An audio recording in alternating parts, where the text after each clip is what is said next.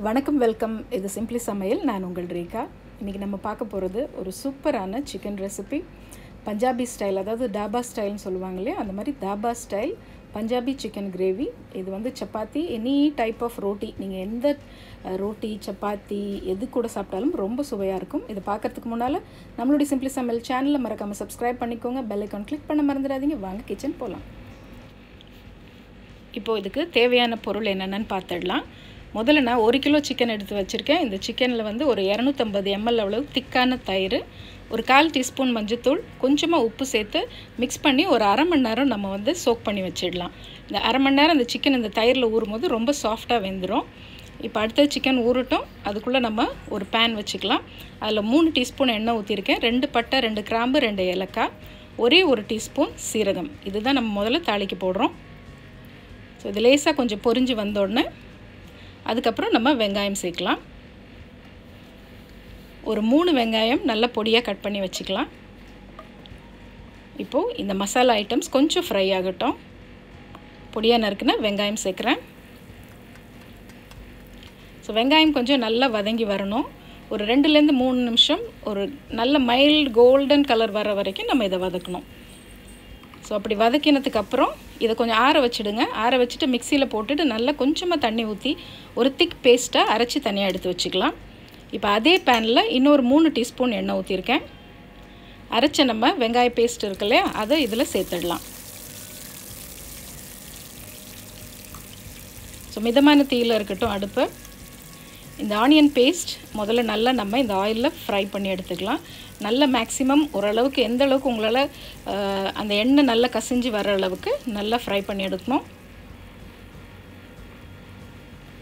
ஒரு அஞ்சு நிமிஷம் வதக்கினா கரெக்டாக இருக்கும். இப்போ வெங்காயம் நல்லா வதங்கிடுச்சு வெங்காய பேஸ்ட் நல்லா வதங்கிடுச்சு. இதில் ஒன்றரை டீஸ்பூன் அளவு இஞ்சி பூண்டு விழுது நான் சேர்க்குறேன். அதையும் நல்லா வதக்கி விடுங்க. அந்த இஞ்சி பூண்டோட பச்சை வாசனை போகணும். ஸோ இந்த ஆனியன் பேஸ்ட்டும் இந்த இஞ்சி பூண்டும் வதங்கும் போதே உங்களுக்கு நல்ல ஒரு ஃப்ளேவர் வரும். இப்போ ஒரு ரெண்டு தக்காளி நான் மிக்சியில் வந்து நல்ல பேஸ்ட் மாதிரி அரைச்சி தனியாக வச்சுக்கலாம். அந்த தக்காளி பேஸ்ட்டை இப்போ இந்த இதில் சேர்த்துடலாம். தக்காளியோட பச்சை வாசனை போகணும் இல்லையா? அதனால் இன்னும் ஒரு அஞ்சு நிமிஷம் நல்லா வதக்கி விடுங்க. இது மூணும் சேர்ந்து நல்ல ஒரு ஒரு திக்னஸ் வரும். அந்த அளவுக்கு எண்ணெய் மறுபடியும் அதுலேருந்து ஊஸ் அவுட் ஆகி வரும். அந்த அளவுக்கு வதக்கிடலாம். இப்போ நான் ஒரு டீஸ்பூன் தனி மிளகாய் தூள் சேர்க்குறேன். இது வந்து காரத்துக்காக. கூடவே ஒரு டீஸ்பூன் காஷ்மீரி மிளகாய் தூள். இது வந்து நல்ல ஒரு ரிச் கலர் கிடைக்கும் இந்த கிரேவிக்கு அதுக்காக அதை சேர்த்துக்கலாம்.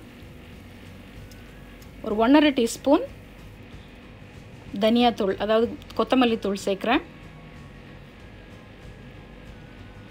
அதுக்கப்புறம் ஒரு டீஸ்பூன் அளவுக்கு சீரகத்தூள். நீங்கள் ரெடிமேடாக கிடைக்கிற சீரகத்தூள் யூஸ் பண்ணாலும் சரி இல்லை வீட்டில் இருக்க சீரகம் லேசாக ஃப்ரை பண்ணிவிட்டு நீங்கள் அதை பொடி பண்ணியும் யூஸ் பண்ணிக்கலாம். இப்போ இதெல்லாம் சேர்த்து மறுபடியும் வதக்குங்க. அந்த எல்லா ரா ஃப்ளேவர் ஃபுல்லாக போகணும். அந்த பச்சை வாசனை இல்லாமல் போகணும். இந்த மசாலா நல்லா ஒரு மாதிரி சுருண்டு வதங்கி வரணும். அதுக்கப்புறமா நம்ம இப்போ அதுக்குள்ளே அரை மணி நேரம் கிட்ட ஆயிருக்கும். உங்களோட சிக்கன் ஊறி இருக்கும் சிக்கனை சேர்த்துடலாம்.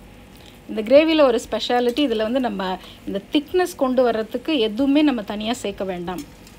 இந்த தயிர் இந்த மசாலா இது சேர்ந்தே நல்ல ஒரு கிரேவி பதம் தானாகவே வரும். நல்லா வதக்கி விடுங்க.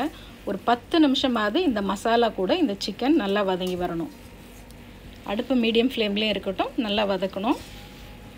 ஸோ டென் மினிட்ஸ் சிக்கன் நீங்கள் வதக்க வதக்க சிக்கன்லேருந்தே தண்ணி விடும் இல்லையா? அந்த தண்ணியே இதில் போதும். நமக்கு தனியாக தண்ணி ஊற்ற வேண்டாம். பாருங்கள் இப்போ எந்த அளவுக்கு அந்த மசாலாலேருந்து அந்த கிரேவிலேருந்து அந்த சிக்கன்லேருந்து நல்லா தண்ணி ஊஸ் அவுட் ஆகி வெளியில் வந்திருக்கு. இப்போது நல்லா ஒரு மூடி போட்டு மூடிட்டு ஒரு பதினஞ்சுலேருந்து இருபது நிமிஷம் மீடியம் ஃப்ளேமில் அப்படியே வைங்க. சிக்கனோட குக்கிங் டைம் எப்பயுமே ஃபிஃப்டீன் மினிட்ஸ் தான். அதுக்கு மேலே ரொம்ப வேகணும்னு அவசியம் இல்லை. கரெக்டாக fifteen minutes to twenty minutes கழித்து நான் ஓப்பன் பண்ணிங்கன்னா நல்ல ஒரு திக் கிரேவி வரும். அந்த ஃப்ளேவர் அந்த அரோமா ரொம்ப நல்லாயிருக்கும். நீங்கள் any type of pulao ghee rice chapati idiyappam dosa எது கூட சாப்பிட்டாலுமே ரொம்ப டேஸ்ட்டாக இருக்கும். ஃபைனலாக கசூரி மேத்தி வெந்தய அந்த காஞ்ச வெந்தயக்கீரை இருக்கு இல்லையா அதை லேசாக கொஞ்சம் பவுடர் மாதிரி பண்ணிவிட்டு நீங்கள் ஆட் பண்ணிக்கலாம். அது ஒரு நல்ல அந்த தாபா ஸ்டைல் ஃப்ளேவர் வந்து இந்த கசூரி மேத்தி தான் நமக்கு கொடுக்கும்.